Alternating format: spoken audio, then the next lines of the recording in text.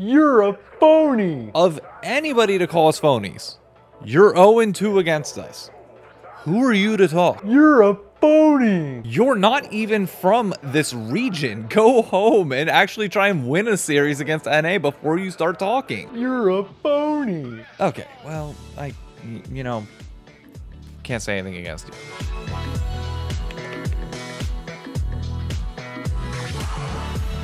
Ladies and gentlemen, welcome back to the Rendezvous, your spot for all things 100 Thieves LCS and around the org.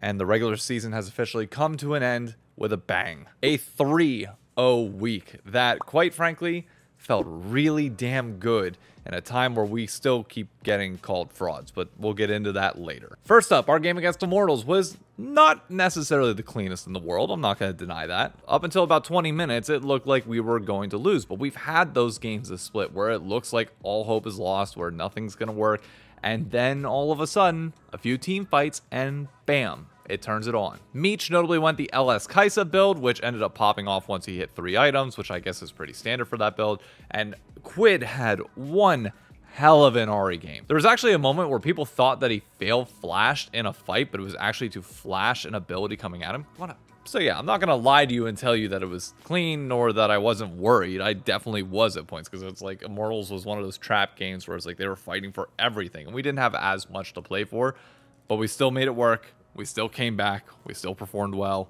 And we got the dub. That's all that matters. Which again, given the context of the weekend, Immortals was no holdover for literally anybody. They ended up beating C9 after they were eliminated and held their own against Team Liquid as well. So yeah, IMT was solid this entire weekend. So again, not much to take away from the fact that we did beat them in the fashion that we did.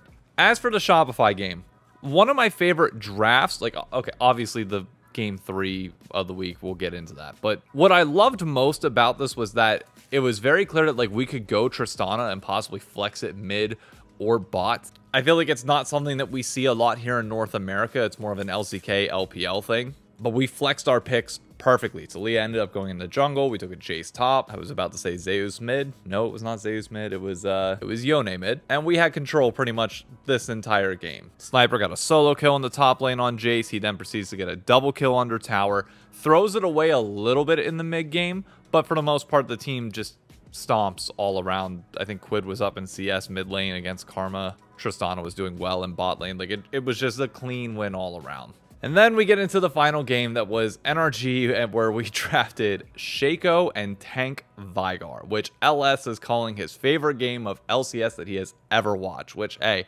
I will take the praise wherever we can get it. We had some pretty int plays early. The Shaco unfortunately didn't do much, especially after he died like level 2 into the Ivern when invading their jungle.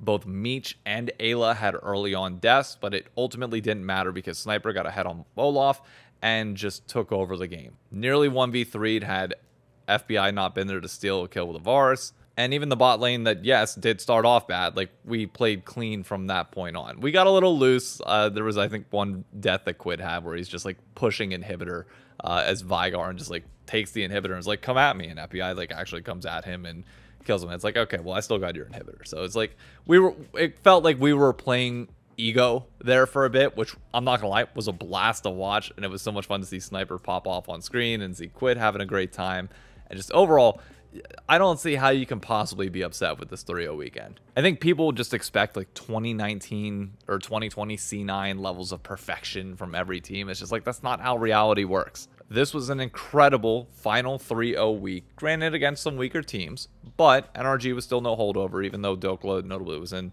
uh, urgent care on Friday and like was clearly not feeling well all weekend. We still secured the number two seed going into playoffs, and that's all that matters. I had three interviews with players and staff from 100 Thieves this past weekend. On Friday, I talked to Meech. On Saturday, Spookz. And Sunday, Golden Glue. I have all those already up in three different videos, two of which were reactions, and the Golden Glue one I put out independently because I just wanted to have that out there on its own. It was 11 minutes, and the video was already long enough. Otherwise, it just felt appropriate. And I didn't want to include it in here because I want this to be uh, focused on previewing the playoffs. And that interview was more about just reflecting on the season that was. So if you want to check any of those out, please do. The other fun thing from last night is that the team went out for a massive dinner. You had all the big names there. John Robinson was there, all the staff, all the players. And I had to chuckle a little bit because if you notice, they're eating in a place that has like the wine bottle decor all around them. I don't know whether it's like actual wine bottles and like age wine, but it's so funny because Quid and Sniper both are not of age to drink in the United States. So they're just sitting there with the full display, like the full silverware and everything, which I guarantee they probably don't know the proper order of silverware. Quid might. I'm not sure if Sniper does of like eating out to in what's your soup uh, spoon versus like I guess the forks are more the tricky one of like the fish fork, the salad fork, and like the entree fork, your dessert fork, your dessert spoon versus soup spoon, the three glasses, where they sit in position to it.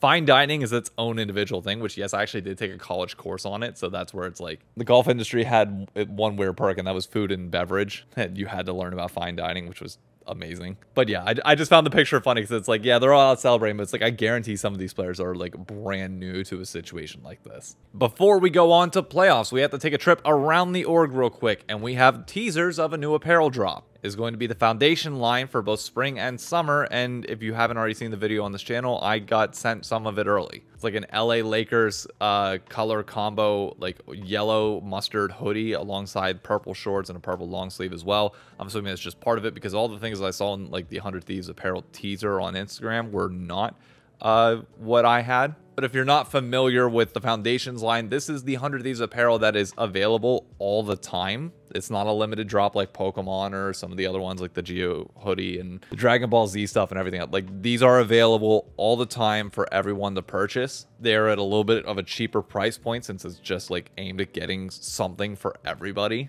And it's a really good way if you want to become like a fan of the org and you want at least something without paying, you know, 80 to 90 dollars for a jersey. I mean some of them are even giving upwards of 100 nowadays. A t-shirt from there or even shorts from there are a good way of doing so. I didn't want to wear it in this video because i feel like i've been wearing it a lot and i just don't want to beat it over the head into people. Like I, I, don't know it just feels obnoxious in a way. Plus this is also our jersey that we won 2021 summer split with so it feels incredibly appropriate right now. But yeah go check out the line. And the other massive announcement was that we have the 2024 creator class for 100 thieves. I would first say congratulations to all of them that got in. But on top of that, I am going to make that its own separate video in the off season. We're obviously going to have a ton of time where I can go into various different 100 Thieves things. This series won't be a consistent thing in the off season, but I want to try and talk to some people around the org and like expand my understanding because like when league goes away in March, I can start talking about Valorant in April, but I can also start getting to know some of the creators, some of the behind the scenes stuff. And hopefully this leads to more content on the main channel front. Something I definitely feel like has been lacking. And I want to see this class establish its own identity. Obviously, all the individuals will have their own thing, but I want to see how they come together as a group and create content and put out, you know, one or two pieces a month all together. It should be really interesting and could drive a new generation of fans for 100 Thieves as these are all upcoming creators. Okay, we say upcoming, but like I consider myself like even smaller than they are. So I don't know what your definition is, but nevertheless, they're they're on the bigger side of creators. They have pretty established followings, but I'm really curious to see where it balloons to from here. Now, it is playoff time. This is the playoff schedule for the entire split. Only three weeks. This weekend in particular, we play Cloud9 on Thursday. If we lose that game, we will play again on Saturday versus NRG, I believe. Or no, I think did. No, it would be NRG because uh, Dig won the tiebreaker, so they play the loser, assumedly of FlyQuest TL, which will probably be TL. So again, Thursday, Saturday this week.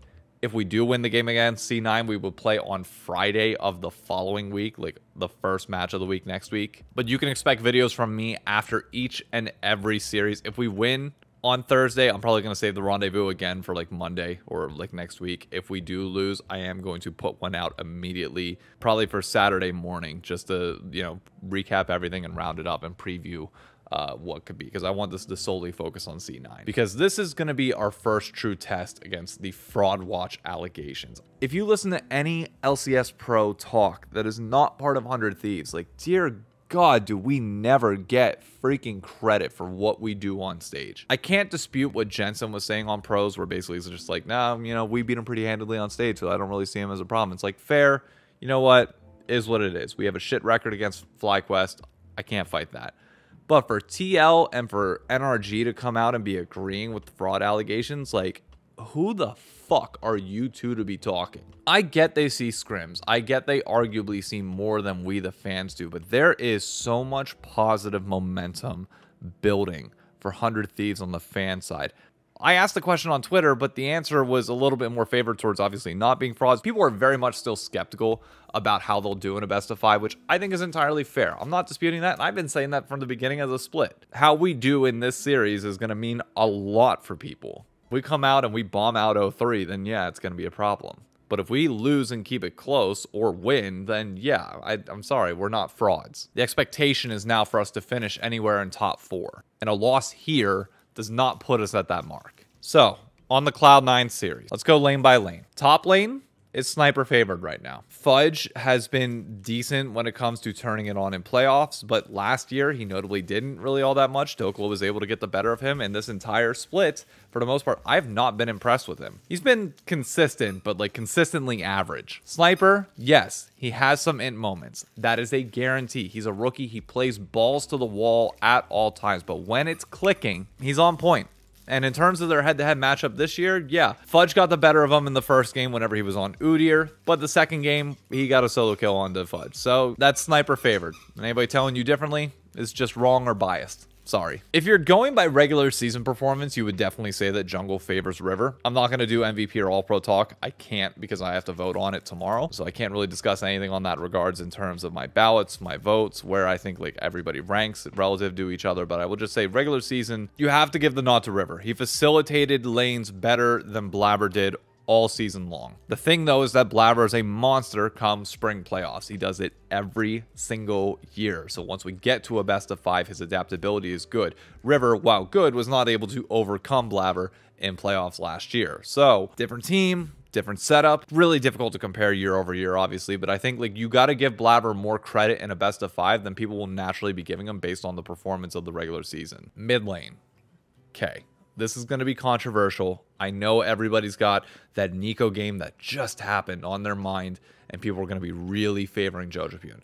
But this is a dead even matchup in my mind. Jojopyun is an incredible playoffs player. Quid we haven't seen in a best of series like where I mean we saw him in one last year, but it's not the same as where he's at right now as an individual player. And we already saw Quid getting the better of JoJo in their later matchup. And even in the game that they lost, if I remember correctly, it wasn't, I think JoJo might have had a little bit of a CS lead on him. But for all these moments that people are going to point to JoJo it's like, oh, he's popping off. He's hard carrying C9. He's 100% favored over Quid. It's like, I can point you to at least four other Quid moments as well. The both the Taliyah games, his Ahri game earlier this week, the Aatrox game. The dude's playing with a level of confidence that only Jojo Jojopyun can match. But the problem is like Jojo Jojopyun's obviously like the face of the league. So people are going to look at that and just inherently favor him. And I know I'm biased the other way. I'm not going to deny that.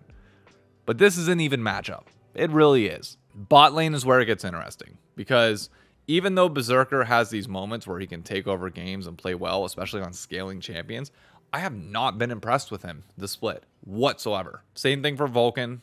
Vulcan on engaged champions is obviously better than enchanters. Eyla's had some iffy moments, but has also stepped up at points. I think his Milio is going to be one that he probably doesn't get most of the series unless we have a different identity that we want to go for. But I'd say both of these bot lanes this year, even though like Meech has the highest DPM of anyone in the league, his laning stats are a little bit meh. I think it's actually going to be exciting to watch Berserker versus Meech in this series. Both just are good at putting out damage in moments where they really need to in team fights. Both have issues with getting caught out right now and putting themselves in positions early on in fights or like for Meech more mid game and like rotations for Berserker more like late game dashing into positions where he really shouldn't be. But I think it's actually going to be fun to watch those two. But it, by far and away, this is going to be a, a top side battle in the early to mid games that will transition to see who can carry with their ADCs later. Draft wise, you have to give the advantage to 100 Thieves. That's going to be a given with literally every team other than FlyQuest throughout this entire playoffs. And my honest to God prediction, the first time I've actually thought about this, I haven't thought about putting a number to 3 100 Thieves. And I don't say 3 1 because I think that, oh, Cloud9's going to,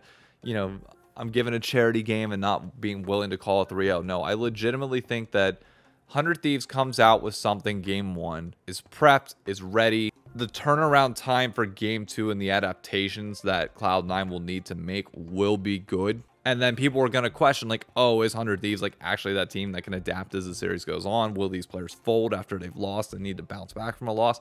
And of which I just believe they're going to step up. I believe our coaching staff is legit the best in the league, and they will prep us well for that moment, and we'll win games three and four. So, yeah, I do favor us over Cloud9. I don't know how long this went. The recording time is saying 22 minutes. I don't know what it's going to be whenever I chop it down. But this is going to be my message the entire week and the final thing that I want to get across. Please buy into the fandom. I caught myself doing this early on where it was like, oh, you know, we could be good. I don't want to let my heart get into it. You're scared to get your heart broke.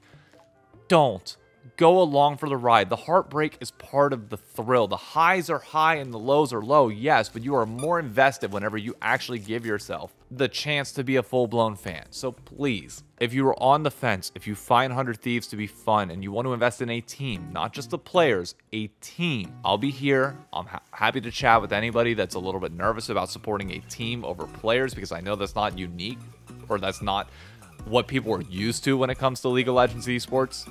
But trust me, it's worth the ride if you can get the right org and the right people. And I feel like you'll be in good hands with 100 Thieves. Put your trust in me, put your trust in the players, put your trust in the staff and the orgs that we can make this a pleasurable experience for everybody. That's it for me here. And oh, yeah, the list comes out on Wednesday. It'll be a fun video. I think you'll like it.